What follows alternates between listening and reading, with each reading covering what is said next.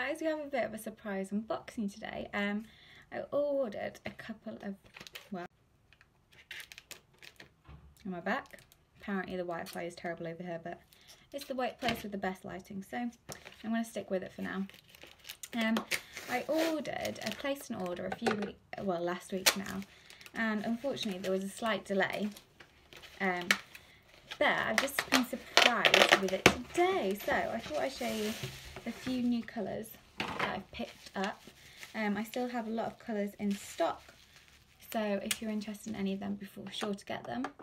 And we will quickly run through these now. If I just tip them out on my lap. I say the lighting's the best over here, it's still pretty terrible, isn't it? Okay, so first of all we have um, Sheerberry Diamond. This is a diamond colour.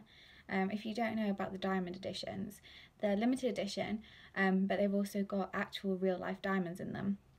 And they're just crushed into a, a fine powder, so basically you get um, like a sparkly shimmer finish and it tends to last longer than with the glitter glosses. And when you buy the lip colours that are diamond edition it lasts all day rather than um, the diamond kiss gloss which just lasts as and when you reapply um, so that's amazing love it this is a colour I tried at the um, pit stop last year um, and it's just a gorgeous pink and I can't wait to, wait to wear that um, as a daily colour because I actually don't have this one in my collection so surprisingly, this one is going to be for me.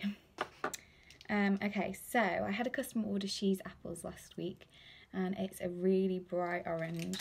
Will it focus on that? Now seriously, look how bright it is. Let me get salmon. If you look at it compared to salmon, it's even brighter, and like salmon is like as bright as I can go. So this is She's apples. it's literally a pure orange. Um, She's apples was an, a limited edition colour brought out for Halloween um, because it is literally a pure orange. It was perfect for those pumpkin pictures and those Halloween looks. Um, but it's definitely a bright colour.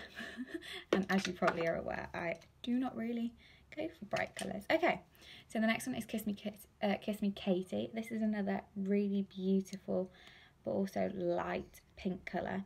And I actually really love this one for a daily look, especially when um, with my daily job, I'm not really allowed to wear bold statement colours. So for me, Kiss Me Katie is definitely going to be a wet colour and I'm really excited to wear it there. It's also got shimmer finish and of course shimmer finishes tend to last longer on me. Although with everyone else, apparently they tend to last less time. So who knows. Um, I also got some new glosses. So I have three different glosses here.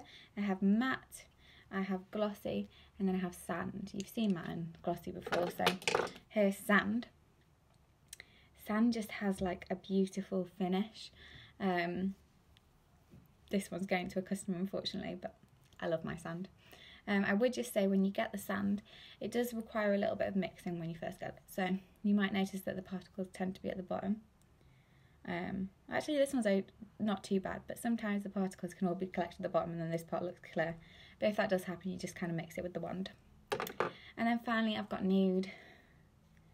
Nude is just like it's literally the perfect nude. I'm not really into nudes or browns, but if you are, this is the colour for you. The only brown I really like is Praline Rose. And it's got like a pinky tinge to the brown, so that's probably why I like it a bit more. so if you compare the two, like nude is very much a nude um, with brown to it, whereas Praline Rose is slightly more pink. So that are the few new colours. I have two to three of all of them and I have a few more in stock so if you want one getting quick also while I'm here I might as well mention Valentine's Day is coming up. I have literally just finished filming my top picks for Valentine's Day so if you're interested in that be sure to head over to my YouTube channel. It'll probably be on Friday's video. Might be Friday's video so be excited for that anyway, I'll speak to you next time. Um, I don't know why I'm saying that. I'm in YouTube mode. Um, I'll but I will speak to you next time I'm on live. If you have any questions, be sure to message me. I am usually pretty quick at answering. Although I am heading to the gym for the first time this year, so wish me luck because I am incredibly unfit. We have a Zumba class booked, so I'm very excited for that. Um, but yeah, I will speak to you next time. Bye.